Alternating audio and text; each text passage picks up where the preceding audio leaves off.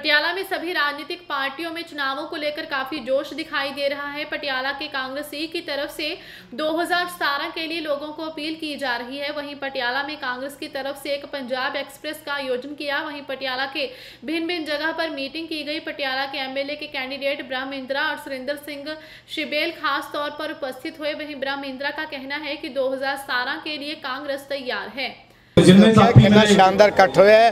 ਪੰਜਾਬ ਜੀ, ਕਾਂਗਰਸ ਦੀ ਐਕਸਪ੍ਰੈਸ ਆਈ ਹੋਈ ਹੈ ਔਰ ਕਿੰਨੇ ਹੁਮ ਹੁਮਾ ਕੇ ਸਾਰੇ ਸਾਥੀ ਆਏ ਹੋਏ ਨੇ ਤੁਸੀਂ ਦੇਖ ਹੀ ਰਹੇ ਹੋ ਕਿੰਨਾ ਲੋਕਾਂ ਦੇ ਵਿੱਚ ਜੋਸ਼ ਹੈ ਕਾਂਗਰਸ ਨੂੰ ਪਾਵਰ 'ਚ ਲਿਆਉਂਦਾ ਕੈਪਟਨ ਅਮਰਿੰਦਰ ਸਿੰਘ ਜੀ ਨੂੰ ਮੁੱਖ ਮੰਤਰੀ ਬਣਾਉਂਦਾ ਤੁਸੀਂ ਕਿਸ ਢੰਗ ਨਾਲ ਜੋਸ਼ ਦੇਖ ਰਹੇ ਹੋ? ਸਾਹਮਣੇ ਤੁਹਾਨੂੰ ਦਰਸਾਉਂਦੀ ਹੈ ਸਾਰੀ ਗੱਲ। ਸਰ ਸਾਬਕਾ ਡੀਆਈਜੀ ਚਹਿਲ ਸਾਹਿਬ ਨੇ ਵੀ ਕਹਿੰਦੇ ਪੰਜਾਬ 'ਚ ਅੱਜ ਨਸ਼ਾ ਬਹੁਤ ਜ਼ਿਆਦਾ ਹੈਗਾ। ਵੀ ਮੈਂ ਉਸ ਗੱਲ ਤੇ ਕਿਸੇ ਨੇ ਕੁਝ ਕਿਹਾ? ਉਹਨਾਂ ਨਾਲ ਗੱਲ ਕਰੋ ਜਿਹਨੇ ਕਿਹਾ ਮੇਰਾ ਜੋ ਸਵਾਲ ਕੀਤਾ ਗਿਆ ਮੈਂ ਉਹਦਾ ਜਵਾਬ ਦੇਣਾ।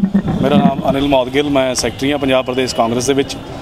ਸਰ ਅੱਜ ਬ੍ਰਹਮਿੰਦਰ ਜੀ ਆਏ ਸੀ ਉਹਦੇ ਬਾਰੇ ਜੀ। ਜਿਹੜੇ ਇੱਕ ਸਾਡੀ ਪੰਜਾਬ ਕਾਂਗਰਸ ਐਕਸਪ੍ਰੈਸ ਤੁਰੀ ਹੈ ਕੈਪਟਨ ਅਮਰਿੰਦਰ ਸਿੰਘ ਜੀ ਨੇ 13 ਬੱਸਾਂ ਸਾਰੇ ਐਮਪੀ ਹਲਕਿਆਂ ਦੇ ਵਿੱਚ ਭੇਜੀਆਂ ਨੇ।